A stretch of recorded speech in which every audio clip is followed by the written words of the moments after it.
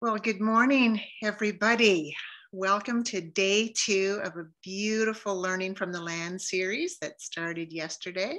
Happy St. Patrick's Day. It is um, March 17th, 2021, and I am thrilled to be your host today and um, take you through a wonderful series of guest speakers from our opening with Walter Paul. Then we'll learn about uh, Wocawson Wind Project being done in partnership with Natural Forces and Tobique First Nation. Then we'll meet somebody at 11 who is actually in Tobique First Nation and was heavily involved in the environmental impact assessing uh, there before the windmill project took off. Jamie Gorman will be joining us later. And we have on the line with us this morning Bernie Daigle from Natural Resources, who will introduce us closely to the Wabanaki Forest. Then Anna Lee and her friend JP will demystify some of our wind energy myths.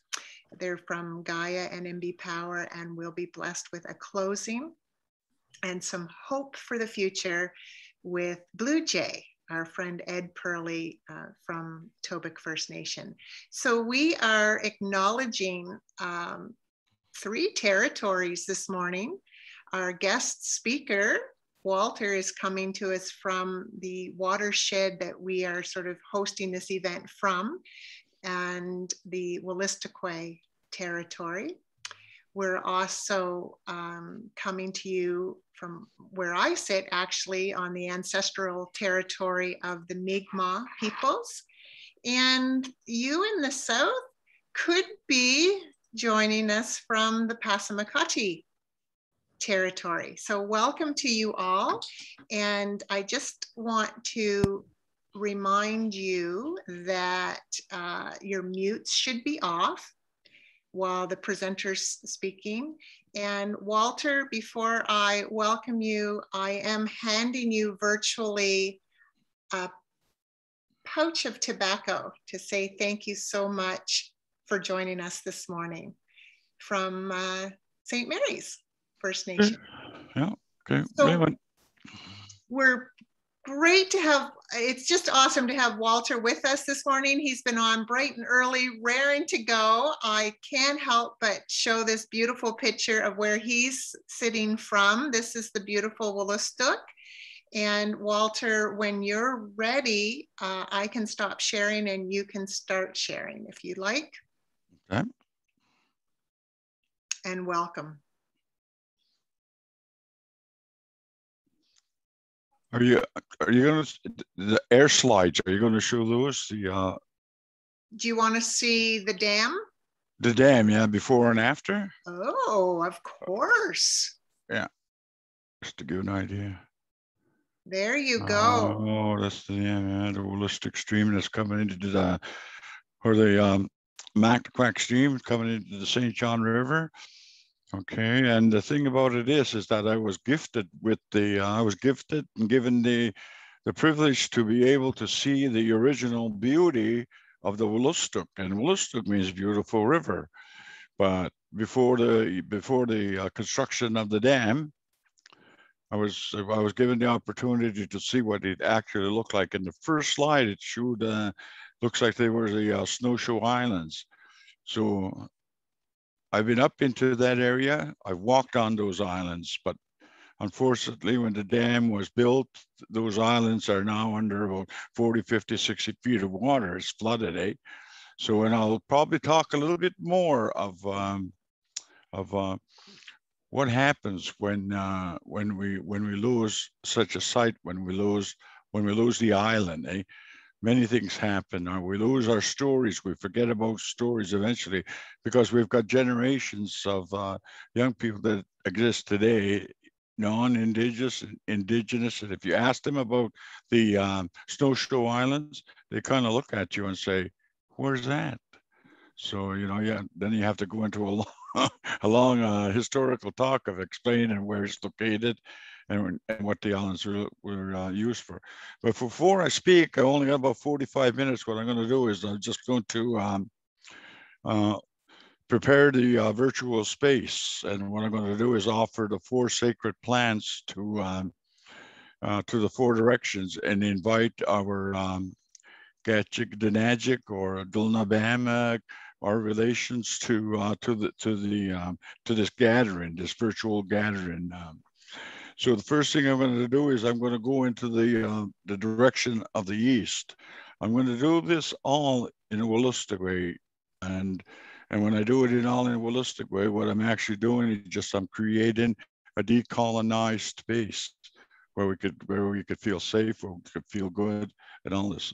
So what I'll do is like I got four piles of the sacred plant, the four sacred plants in front of me, and what I'll do is first is um, what I'm going to explain to you after what I say in our language. So I will say, this is Glomki Putin Dama Wecha Wilbu Jibinok, Siwanik, the Gwajimula got Chickadanagic, Tuchkuyanya Yud Eatlimawi Amak, Gizitat Kunen, Nagadakim Kunen, the Digital Yanya Lugil Watlugil Saunusk,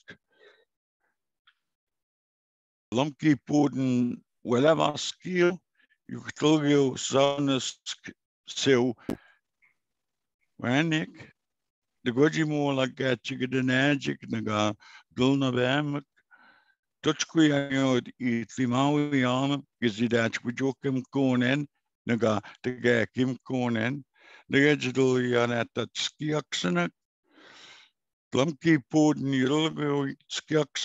Nagajidulian at that Skiaxanak, Glumki Poden Yulgo Skiaxanak Chosiwanik, the Gojimu like at Chigadanagic, Naga Dulna Bamak, Tuchkuyanya Yud Itlimawi Yama, Gizidach Bujokim Konen, Naga Dulgakim Konen, Digage triatal dulian ladwasnak, lumki boden gaskos gilgo ladwasnak, chewsiwanik, the lag gatchiganagic, tuchkuyania itli itli mami amik, because that we joke kem konen, nagadl gakim konen. And what I just did is that I invited all our relations in four directions to this space to the, and, and to help us to learn and to help each other to get a good understanding of everything that's present, presented today and that um, and that uh, hopefully um, can share share the beauty of this uh, the space in uh, in word. So I got a nice picture here, so I've moved on. So I'm going to do, oops, sorry, I forgot to share my screens. Okay. okay. I'm over there now. So I just did the opening. Yep. Yep, there we go. Okay. You're, you're a pro, Walter. No, I'm not because I'm extreme. this is the only time I feel that I'm lost. okay? And I always tell my wife, say, don't make too many paths. If you make too many paths, you're surely going to get lost. Eh? yeah, and that's happened. So, and what I'm going to do is, if I can get this through here, just a sec here. I'm trying to get the full screen. Just a sec, my technician is here. Okay. We were blessed with some Jeremy Dutcher this morning. For those who were um, on a little early, Jeremy Dutcher is an award-winning musician uh, from Tobique First Nation, and he was singing um, "The River," and no doubt speaking about the Wolastoq River in his music. I highly recommend you uh, check him out if you've never heard his work. He's brilliant, Wolastoqey artist, musician. And also, I should give a plug for Nate Gaffney, who's also, uh, I believe, his dad's in Tobique First Nation. Oh, there. Um, but Nate Hi. is in Fredericton and has just put out a book on the Wolastoq River, The Whispers of the Wolastoq. And he is a young photographer, uh, Nate Gaffney. There, I'm just putting in a couple of okay. recommendations. So Walter, we're all yours. Okay, it took a few minutes. I had to run to get my technicians to kind of show me the way and show me the direction to uh, to to uh, get around this uh, virtual space. Eh? So anyway, yeah, I'll just introduce myself. My name is Walter Paul. My spirit name is Oposenta. The meaning of my spirit name is Sundog. And a lot of people say, what's a sundog? A sundog is that rainbow circle around the sun. And I, most likely, most of you have seen this circle, this rainbow sun, that rainbow that uh, circles the sun. And my name comes comes from that. There's a lot, long story associated with uh, with how I got this name, and I'm not going to get into that because we're so restricted for time. I am from Ekpahag. Ekpahag is a big area, and, and uh, the meaning of this place name is where the tide water ends. And, and what happens is when the Bay of Fundy tidewater raises the tide, when in a high tide, the water from that bay comes right up to this right up to this area and right up into Silverwood area and it's called uh that's what it's called we call it the uh, my ancestors called Ekpahag. So there's a mixture of salt and fresh water uh, within this whole area, uh, all the way down to St. John. And there's a mixture of fish in there. You have saltwater species, you got freshwater species. It's a large land area covering approximately about 800 acres. That's, I put a little number to it, 800, about 800.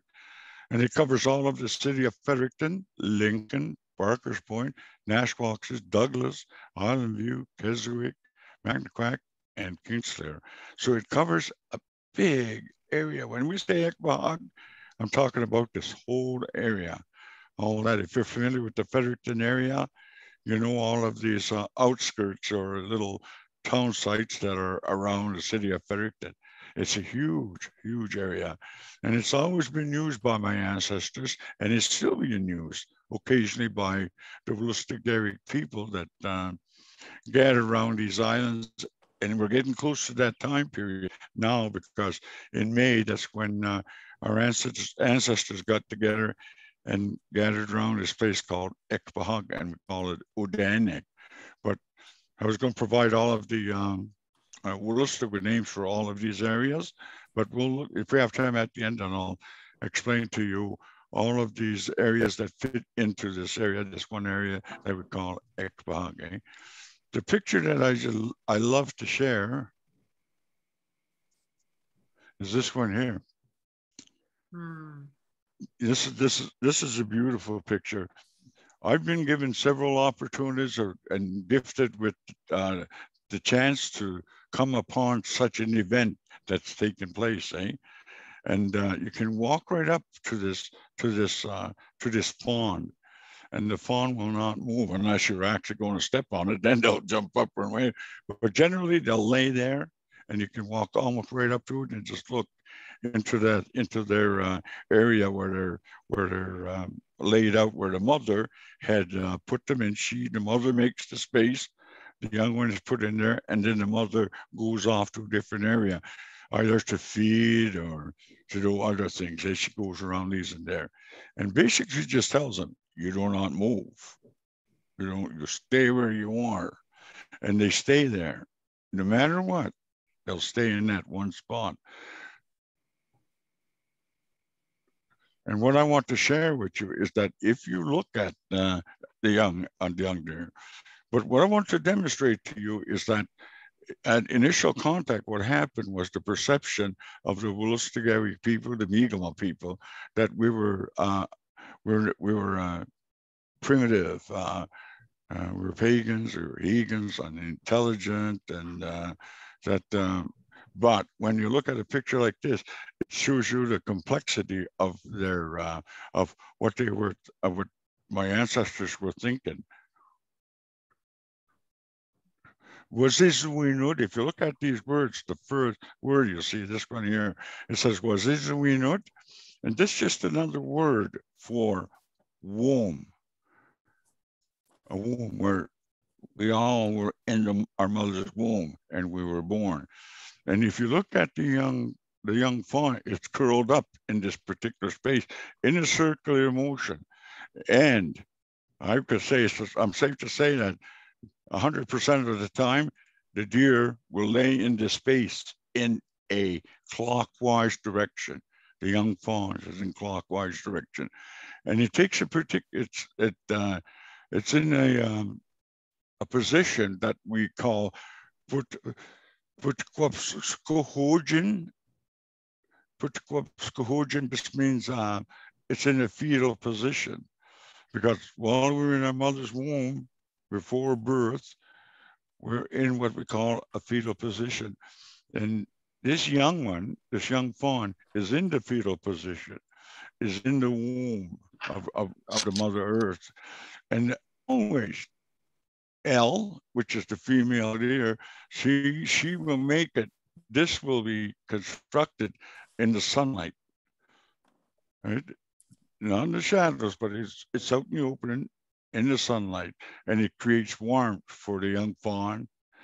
Young fawn feels safe and secure, right? That nothing's going to harm her, and then the young fawn will not move from that position until such time that the mother returns and says, "Okay, time to um, time to move on. I'm back, and the young fawn will get up. But like I said several times in my lifetime, I've been able to see this kind of event taking place, and to get an understanding of it, of what what uh, our people, my ancestors, and even today, some of our some of our Wolastoqey people, and even some of uh, the non-indigenous people, get an understanding of what's going on in this event it's a young fawn that is in that position. Okay? But it's just to kind of demonstrate to you that our people, my ancestors were very complex thinkers. And they had words for such an event like was this we know it, which means fetal position, the warm. The one means the, when the mother makes the bed, she's making a bed a bed for the, uh, the young fawn to um, to to uh, to crawl into and to and to and to sit there and or to lay there until the time. But anyway, so it's interesting that uh, as we go through this uh, presentation, we had words for for such events, and I'll be talking a little bit more about that. So now this one here, this third slide is uh, about the area that uh, I refer to as Ekpahag there's a mountain. You could go to the city, uh, Fredericton, in Fredericton City Bridge, and you could look up the river, look to the, look up river, and you could see that mountain sticking out. It's called uh, Curry Mountain, but in our language we called it. My ancestors called it Woodwell, so we were just this, which just means Little Council Mountain. And then what we're going to do is we're going to look at the story. I'll talk a little bit about the story all of the islands here, there's a string of islands. Up a little further, upriver is the island that was on the uh, on the screen, which uh, kind of show what they call snowshoe islands. But this was my main classroom right here. This whole area was my teaching area. This is my classroom. This is where I learned a lot of my language. I learned a lot of the uh, traditions, life skills, I learned it all right here on these islands. And um, I would get into talking more about this, but like I say, it's uh, like at the time, it's kind of we're restricted for time. I'll quickly name the islands for you. And uh, this island here is we we call it Nukam Kijawuk Manique, which is Keswick Island. These names were taught to me when I was young, 10, 11, 12, whatever. And I learned I learned them from my from my parents, from my uncles, my and community members. This one we call Zoogle Island. And uh, in English, it almost sounds the same as Sugar Island. This is Ekpahag Island. Unfortunately, what happened at, at contact, shortly after contact, it was referred to as Savage Island. About, eh, about seven, eight years ago, maybe more, the name was changed and it was changed to Ekpahag Island. Savage Island is stricken off the books, and we call it Ekpahag Island now. This is the island that my family lived on right here. And I've camped on there and I've stayed on there two months out of the year on this island. And it's Kagagi Oden. And all that means is a doorway, means this is the doorway to this island. Because in the story, you're going to see that uh, a village at the foot of this mountain, but things happen, environmental changes happen, and then eventually the uh, village Odan, we called it Odanik. It was it moved over to the island, and on this island is on this side is the uh, what we call nobody camps there. But there's two families that stayed on this side of the island, which is the uh, south side, and over this the north side. Most of your people that went up into the islands, and even today, if there's still uh, survivors within that family, they camped along this whole area, stayed on this, the north side of the island. And then on the south side, there was only a couple of families. There's a lot of stories that we could talk about regarding these families. Then we have Bakalooks, Bogalooks, Manique, uh, Zips, Manique. So these islands, I know the names of, and there's more islands down in this area but I'm not going to go into talking about them because uh, there's names for them too. I know those, but I was taught all of this whole area, and it became my classroom, and it became my a place where I learned all about my uh, values, my traditions, my uh, my um, language, especially my language, because you'll see what happens when the river changed. The river when the dam was built in 1962 and things started to happen, the things changed for these islands. And when the islands change, right, our people kind of uh, moved away from going up into the islands. There's the occasional vis visit today, but a lot of our uh, about a lot of our ancestors kind of the connection changed, and when that happened, our language begin to change, our traditions, our values, our customs, everything. Eh? So we'll move on. So that on, keep that on this island in mind, the mountain, eh? And I'll explain to you is that this is where, before contact, this was where my ancestors had come to. And surrounding this, this whole area, this surrounding this whole area called Ekpahag, there's four springs that exist. Two on the north side, one at the foot of this mountain, Woodwowski Wood just is, and then further, just further up to what they call Hillcrest Farm, there's another one there. Then across the river, directly across is another spring. And then right down here at this Hearts Island, they call Red Cross, is another spring. So accessibility to the cool, clear, spring water was there for our people because when our people moved into this area, they didn't come down for a week or two, but they come there for five months, six months of the year. And so half of the year was spent on these islands. Uh, and uh, and the reason why they moved was because moved into this area, and I believe is because of the springs.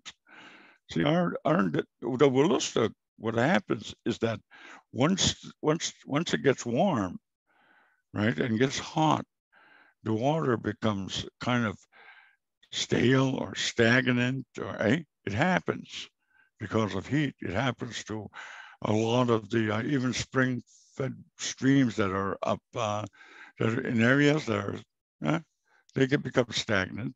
So I guess the use the consumption of the water narrows down but they had the springs. They had four springs that were always in flow. If you went up there today, you probably most likely be able to have access or be able to gain the spring water to anyway so ah now here we go. This is the story about Budwausuin Wujissit, the story of that mountain right? Um my vision is bad right now and this here so and sometimes i'll miss the word or whatever as i'm reading through but you know what i'm going to do?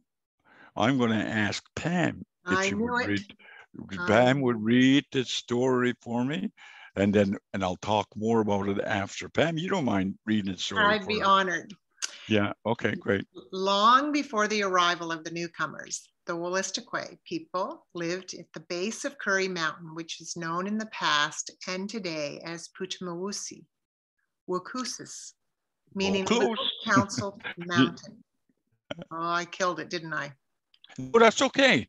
Sound about- good. Okay, you chime in with the Wolastoqey um, pronunciation when when I trip over. Okay, I'll pronounce this for the uh, the listeners. Buduausuwi wujussis. Perfect. Yeah, that's how, yeah, that's how we say it. Wait, carry on. Okay. Also, it is understood that this mountain is a dormant volcano, approximately 350 million years old. Sorry, I have to admit some of it. The name of Hmm. the village at the base of Putuusi Buduausuwi wujussis. is called Organic. which means village. The larger geographical area is called Ekpuktok, Ekpahag. Ekpahak, meaning where the tide water ends. The valley nourished the people so well that they became unmindful of their good fortune.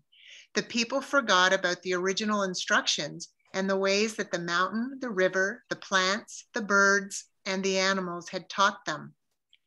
Glooskap, Giziolkon. Giziolken, Yeah. and Muin were standing at the summit of where they were able to get a good view of the village below. Muin could sense that Glooskap Giziol Giziolkon. Was not happy with the people because of their waywardness. Glooskap Giziolkon. instructed Muin to go down to the village and to warn the people to return to the original teachings. Muin slowly descended the mountain. Upon reaching the village, Muin spoke to the people regarding Glooskap's displeasure and anger. The people ignored Muin's warnings. Okay. Muin returned to the summit to tell Glooskap of the people's refusal to listen. Glooskap Which shouted and demanded Muin go back down to that village, the village, and tell the people to return to the original instructions. Finally, Muin got so angry that he came roaring down from the top of the mountain. Black bears, which is what Muin is, running uphill are breathtakingly fast, but because their front legs are short, black bears sometimes slide and tumble coming downhill and Muin brought half the mountain with him sticks, trees, rocks, roots, moss, dirt covering the valley floor and the village. Several islands were formed on the beautiful river. Many of the people were covered.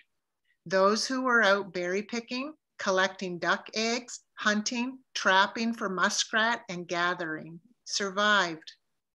This is about 5,000 years ago. Over time, the people returned to the village to rebuild.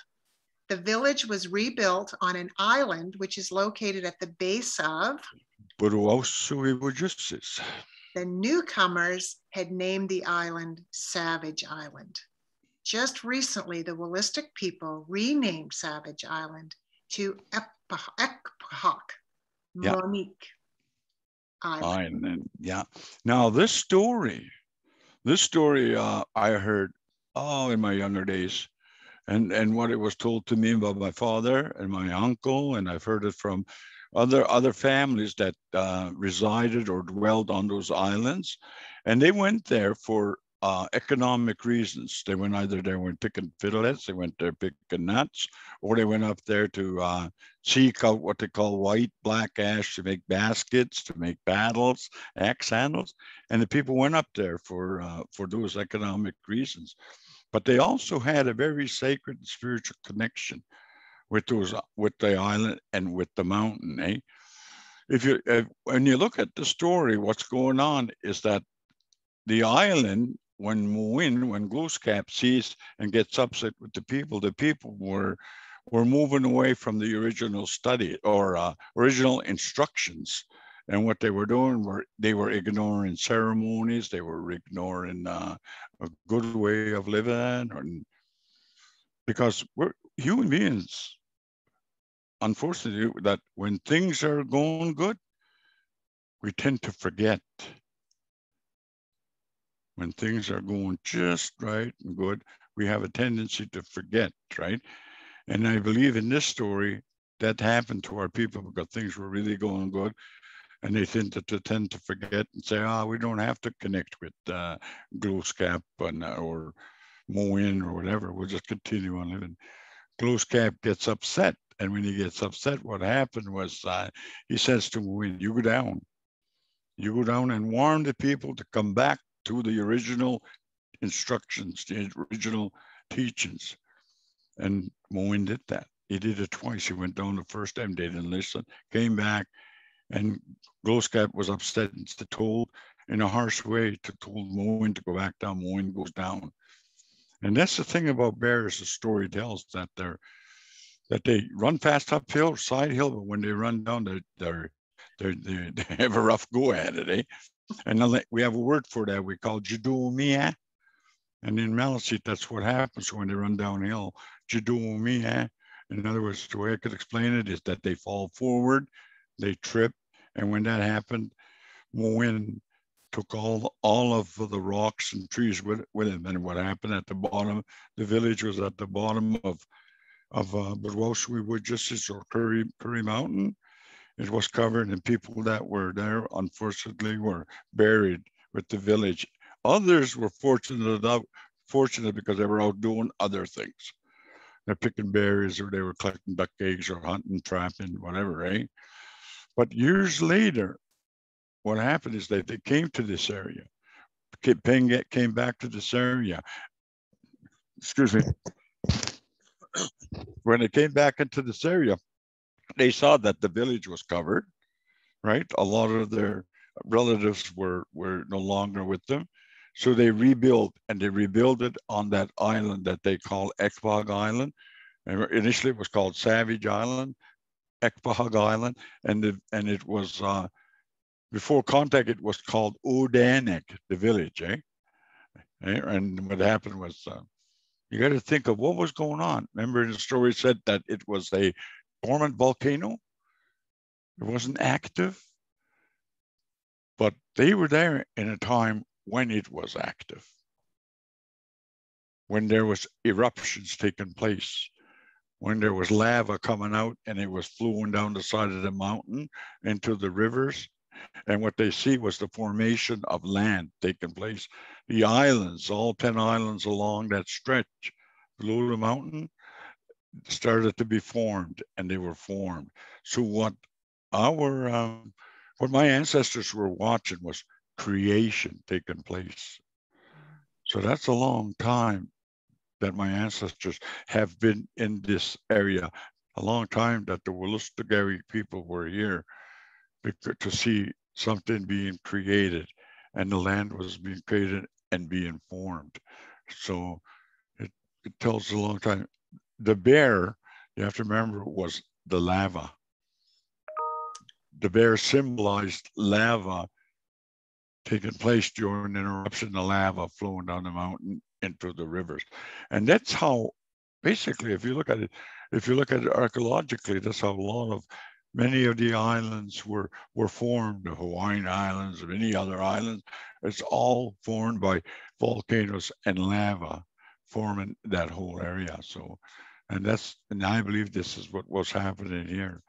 Just to back up a little bit, um, 1952, we'll see, we're going to look at the truths behind this story. Eh? We know it's true because it talks about the islands, it talked about the mountain, it talked about what was here before contact. But in 1952, I believe 52, that they built a railway there used to, it's a walking trail now, but that was once railway tracks. We called it Guz Out, eh? and it was railway tracks that formed.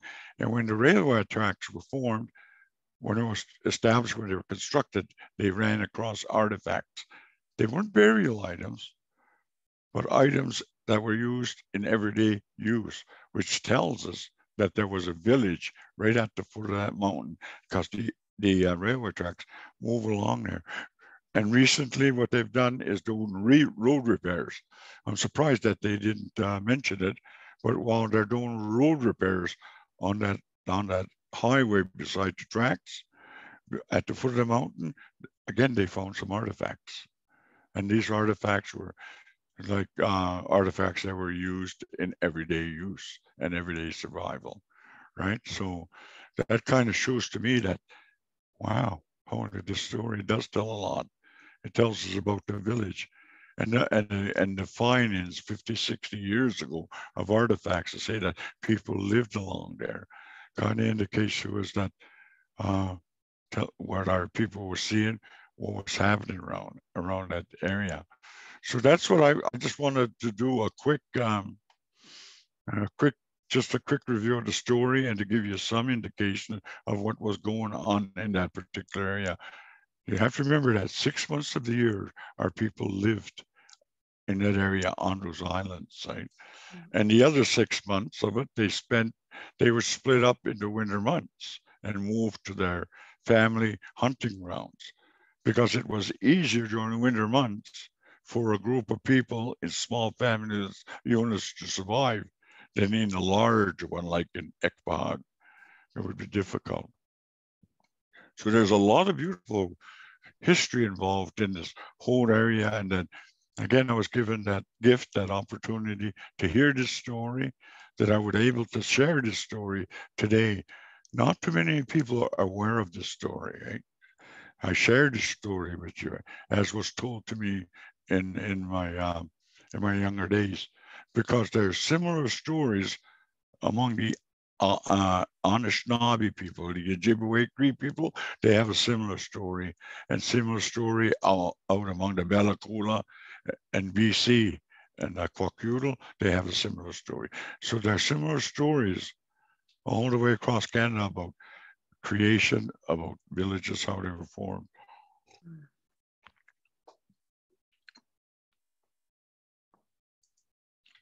Hmm, okay locations. Maniquequot just means islands. These are some of the names of those islands I think I shared with you quickly. First one is Kagagi Oden. That's Hearts Island. Ekpahag, Ekpahag Island, the one that was originally called uh, Odanek or uh, Savage Island. Uh, Zipsizawe, Monique is Birds, Bird Island. Wagalooks, Buckalooks. It's called, it's, and it's in English, it's called, it's still called Parsnip Island today. Nukam Kidjuak, that's a good word. Oh, I, I, like that word sound. It's, Keswick. That's Keswick Island. Umsquatsawe is the first island. Nizawe is the second island. So these are uh, the great names of those islands. You can see First Island just uh, maybe about three, two or three miles up you can see the first island and then it follows along and goes along. They're pretty well all in order, the islands. Loss of language occurs when there is a decreased relationship or connection with the islands of the mountain. A lack of memory environment, a lack of memory environment created a threat to Wolastoqey uh, identity. So in other words, uh, eventually because of the things that, that are listed below, our relationship, our connection with the uh, island changed. Our our rela- uh, relationships, uh, um, you know, uh, were, were, were weakened because we, we were not um, going up into that area, eh, you know, anymore, or our uh, connection was restricted or limited. What happened was Indian reservations were established which was resulted into relocations. So in other words, some of our ancestors that were living on the islands, where Indian reservations were collected. There's six of them along the St. John or the Wolastoq River, all the way up from where Oromocto, St. Mary's, Kingsclear, Woodstock, Metawaskeg, uh, Perth, Andover the reserves were created, established, and people, our people relocated onto the force, well, I'll say forcibly relocated onto these little strips of land, right? Land was privatized and used as places for, I put cows to graze because that's interesting, is that those islands were privatized and were taken over by um, farmers within the whole, within that, within the, from the surrounding areas. And, and they, um, and what happened was that uh, it became farmland and cows were one of the uh, animals that were, were uh, were booted over to the island and they were released to grow uh, on on those islands, eh? and they stayed within there with just a natural boundaries, so that uh, you see a natural, you see the boundaries in the cow pastures, a fence, but the Wolastoq acted as a fence to keep cows in one area, which is those islands. And what happened was cows, great big hoofs on them. So what they did was when they traveled around the land, around the island, there those big big hops uprooted a lot of the uh, the fiddlehead plants. They're a clump. I wish I should have provided a picture of it, but a clump of them. And what the what the cows were doing was they when they walked, it would wander and they would rip up all of these fiddlehead plants. That that that kind of reduced a traditional food. And when that reduced, things also begin to reduce. The land was reduced, uh, and our culture identity began to become reduced. Our language even was getting reduced. The renaming of islands by newcomers when they arrived here, and when they arrived here, the, our relationship was further further diminished because they didn't use the um, uh, what's the way names they called the first island, second island, uh, uh, Bird Island, Hart's Island, Savage Island, Sugar Island, Keswick Island. So our name, the names of those islands changed.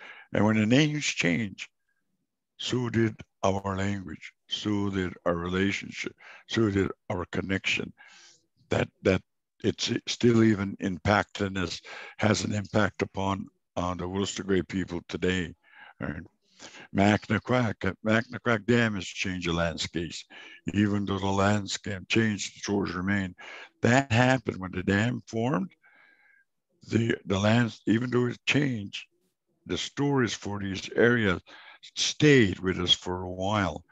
But eventually they were forgotten, like the Snowshoe Islands. Chemoin, which is Great Bear, changed. A lot of our, our burial sites were flooded the islands, uh, the campsites, or, or, like I said, our burial sites were all flooded when the dam was constructed and, and water backflowed. So it, the, the backflow goes all the way 60 miles back probably uh, to Woodstock and even further back into, into um, Hartland or whatever, right? The words associated with this sacred area. And to me, this Ekpahag is a sacred area very meaningful for me eh? because of the fact that my identity is still connected to that area. Even though there has been changes, I still am connected to the area. And the words associated with that, with that particular area are seldom spoken. When you lose land-based practice and traditions, you lose language. We lost picking because of the cows, right? Right? Because it was privatized land, we were not able to go in to cut uh, the white and uh, black ash to make baskets. Our ec economic economy was changed, eh? And, and because of that change, words associated with basket making were lost because our people were not as involved as before into making baskets, paddles, et cetera, et cetera, et cetera, whatever. And, uh, and you know, just a quick review of uh, like I'm saying that when our language changed because of reduction in land, the economy changed, everything. The river itself, it's changed the flows. Our, our practices for harpooning uh, salmon and bass changed because of uh, the spawning grounds of the salmon and, and the striped bass, the sea bass, were, uh, were uh, they disappeared. They became sandbars right? So that's that's the whole complete story of that act activity because none of our people now go and harpoon. I think in 1962 was the last time that a group of us went up there and harpooned uh, striped bass. I think my, and I was the last one, the last at 12 and 13 or 13, last one to take a, a, a striped bass out of the spawning ground of, of the uh, sea bass. And, got, and the spawning ground is gone. Where they went to, we don't know. They went, some say they went out into Great Lake or Grand Lake. So when you lose natural resources, resources you, you lose your way of life, land-based practices, traditions. Uh, uh, picking even, picking even uh, what they call butternuts. Grapes, that area was always loaded with grapes. We picked grapes. We used to be able to go and pick up uh, butternuts, right? And we had all sorts of different fish, but it all changed. And then somehow our way of life was diminished and we lost connections. Eh? This is where I, I, all of this I've been caught up with relocation, privatization of land, eh? the loss of traditions. Eh? But the biggest thing was that the Indian day schools, Indian residential schools, which was forced assimilation of our children, because I attended Indian day schools. I was lucky not to have been sent to an Indian residential school, but I went to an Indian day school. And those had an impact upon several generations of, uh, of our people that went to these schools. And because they were forced and they lost their language, they lost their, a lot of their of, uh, traditions, values, customs. Like, so, and in Indian day schools, and it took it took it took away a lot wave a lot from me that when I uh, that it took me a long way a lot to come back to to uh, learning about who I am and uh, learn about my culture and learning my language. So those are the things that happened to that particular area, all the way up to Saint to the uh, all the way up to St. John River. These things happened, all right. Well, just can give, I just interrupt sure. you for two seconds? I right on. Don't want you to stop. I don't. I uh, so appreciate your um, environment as your classroom, and that's just resonating with me, and how the land and the earth can teach us so much more than ecology, but mm. language, culture, history, economy, you name it. I just want to say that the bell, we're following Southern Victoria's bell schedule. And if students and classes need to shift, please feel free to do so. Walter, we have um, sort of bedded in a little bit of a break between you and session 2 mm-hmm. So you are welcome, and I hope you do continue. Just know that some may have to pop off and go to class. Um, if you can't, if you can stay on, uh, Walter will sort of segue into the next speaker, I hope, with his Wocawson story. Oh, um, that's a- yes, please. You're uh, welcome to do that. So I'm, I'm going to stop talking. Walter, you continue and uh, just know that if, if people leave, it's because the bell's ringing um, to end class. Okay. All I'll right. Great. It. Thanks. Thank okay, I'll just move on to the next slide quickly. Now, this is what I was saying regarding when when your relationship and, and when your connection with the land changes, eh? For me, it was the islands. For me, it was the uh, Wolastoq River, the St. John Adventure. And eventually what it became was just a memory. And then what happens was the memory becomes lost. And that's what's happening to uh, a few of a generation of us is that we no longer have a memory of those islands or or that or um, or what was taking place and how important it was for uh, for the Wolastoqey people. Just to give you an idea, is some of the words that can only be used up in that area. That's the time when we we uh, we we use these words like uh, uh, which just means canoe. Right? We traveled around. Tahagan, paddle. Gepijuwuk, that's the narrow between two islands. Nolamuk is upriver. Bupgil is downriver. Melawizogo paddles away from shore. Oguluk, skunk cabbage, medicine, and it's a dressing because of the because of one time there I had cut myself with a knife when I was cutting fiddleheads and my mother my mother walked over to what they call skunk cabbage and she ripped off a huge leaf and wrapped it around my hand. And she said keep that on for a day. And it was like a uh, uh, bandage that she put on over the cut. And within a day or so felt better started healing Elibizageg is the coves because in those islands, I've never seen so many so many coves or what in my language you call Elibizabek, Bizabek, and what and this is how we uh, our ancestors measure distance, right?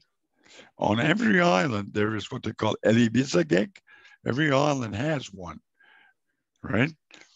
And if we we're moving from one island. I can remember at 10 years old, 11 years old, when my uncle would say, um, could you, na Jim kanasnil want zogel, uh, zogel manikuk, in other words, he said, I'm going to go pick on Sugar Island and I'll see you at the cove. We knew, and right away, my father would know where what, what he was talking about, the area he was talking about, right?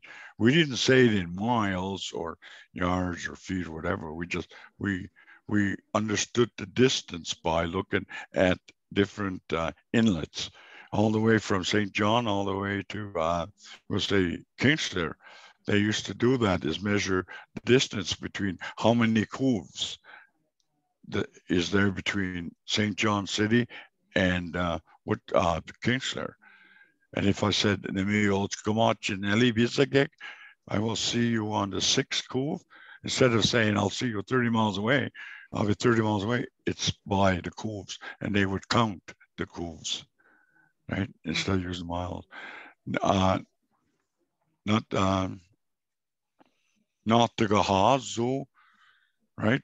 This word could only be used only if you're on a canoe, not the gahazo and and so that activity, that tradition or or custom, is is is uh, that word is forgotten. It's not used now because of the fact that our people are not connected with that space, and uh, and because of it, they don't use these words, and these words become a memory, and then eventually the memory is lost. Most of these most of these words are no longer used I remember them because of the fact that I had to go back and really think hard about them and, and uh, bring them forward to, the, to, to today and to, to know these, uh, to these, to know these words. So you see what's, you can see what's happening is because of the fact my language, I learned my language right here because of my connection with the river and the islands in my younger days, and I was able to maintain maintain my language until Indian residential schools, and I went into the public school system uh, where my language wasn't offered, and my connection with my community and people was very limited. That we begin to lose these words. Uh, we're now there. Again, I don't want to say uh, ask you to read this, but I'll do. I'll just, I'll just say you say the English and I'll say the Wolastoqey. Can you read it for me, Pam? I would be honored. Oh, thank you. Well, my ancestors lived in a village called Utanek. Udanek. Udanek. Uh-huh. Which was located in Ekpahag. Right on. Monique Island. Monique. Island. Across from Buduosu just Currie Mountain. Mm-hmm. The village was located on the highest part of the island so that the tide water and spring flood water could not reach them. Further upriver, another mountain called Mount Carleton can be seen. Great Wind Bird lived on the top of this mountain. The people called Great Wind Bird who controlled the wind, Wocawson. Every time Wocawson's wings flapped, a strong wind would blow. I love this. Mm. One day, Glooskap. Oh, yeah, okay. Went among the people. Upon arriving at the village, the people complained that they were unable to do their daily activities.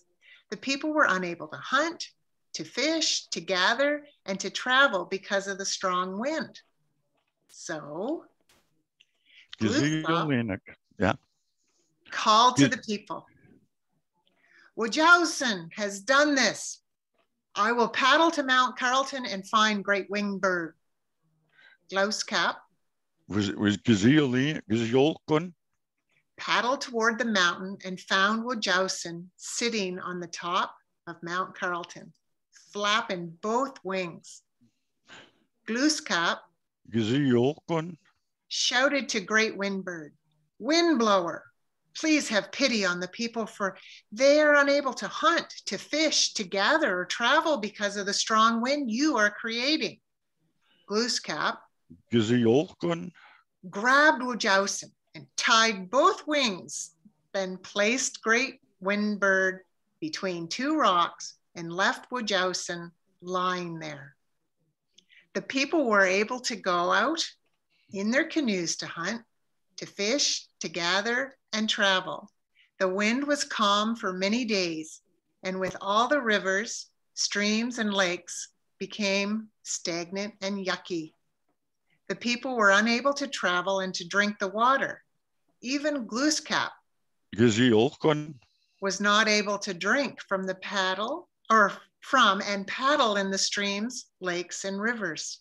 So Glooskap, sorry. Then, yeah. okay. Then thought of Great Windbird Again, Glooskap paddled to Mount Carleton and found Wocawson lying between two big rocks. Glooskap raised and placed the great wind bird on a huge rock and untied one wing. Since then, the winds have never been so terrible as in the olden days. The rivers, the springs, the lakes and the streams were no longer stagnant and yucky, but they were fresh, sweet, and cool. Right on. And, and, and this story is important to us. Here's here's the kicker: is Mount Carleton, right? I don't know. I can't remember the name of of that mountain in my language of I can't remember it. But maybe someone from Perth Andover or from uh, or Tobique uh, uh, will be able to share that with you. So I have had to use Mount Carleton. It's it's interesting that when we first started about the uh, the wind project that they have that's mm-hmm. going on, I see that I when I first thing when I looked read read about it and and looked at the uh, the, the windmills that are up on the hill there and the movement going on. And the first thing I thought of was the spirit of Wocawson, how mm-hmm. My people had understood wind, how important it was, or it is, still is very important to the environment because without wind, there would be no move, there would be no movement of the waters. And that and wind what it does is it keeps the water moving around so that it doesn't stagnate too much. And uh, and you know and becomes stale and stagnant they mm-hmm. but and the wind helps that movement helps that river to movement because you have to remember on the earth there's always um, movement going on. There's something always taking place. There's always wind, there's the rivers, there's the animals, there's movement. It's never still. It's always moving. Right? Yeah, the earth moves all the time. Yeah. Right? But this story, I had to put the story in because of the wind project, how our people understood the wind, right? Mm-hmm. And how our people are are uh, understanding it today indigenous and non-indigenous, so they understand the importance of wind. And I, I myself see the spirit of Wocawson in that project that's going on, which creates the wind, which creates uh, the, uh, the, uh, the, you know, helps the people to survive, mm-hmm. right? That is going on because provides electricity, provides, um, you know, that air movement. So this story shares and tells a lot and it goes on. And the name of the project and the name of the project is Wocawson. I know. Yeah. Fantastic. And if you stick around, Walter and, and guests, you'll see um, some beautiful uh, pictures of mm. those turbines and some of the Wolastoqey art that's on them, but I, I don't want to spoil the presentation. And mm. uh, it's perfect timing Perfect timing. Yeah. You've segued in beautifully to uh, natural forces talk, which will start yeah. at 9:40. So we'll we'll take a 10 minute break. I'll play some more Jeremy Dutcher, mm-hmm. and then uh, Jamie Gorman will join us from Tobique First Nation to to talk a, a little bit about um, his community and their involvement with uh, the Wocawson project. So, mm, Walter, please accept our gratitude for opening for us this morning. It was a distinct pleasure. I'm going to stop recording and just if people would like to shout out uh, to Walter, he can see it in the chat or